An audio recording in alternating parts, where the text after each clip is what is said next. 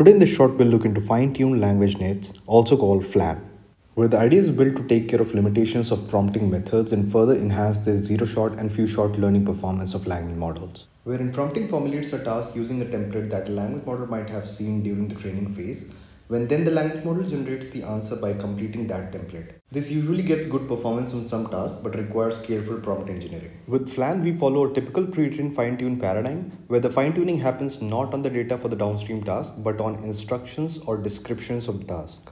Such as for the task of text entailment, you have a premise, you have a hypothesis and you have a target. You transform it using some template where you insert a middle statement such as based on the above paragraph, we can conclude and then you put a question mark besides hypothesis. So this is one of the templates that you can design. Similarly, you can design such templates for various tasks and then fine tune your pre-trained language model. And eventually your model becomes good at solving various kinds of instructions it has seen during the training phase.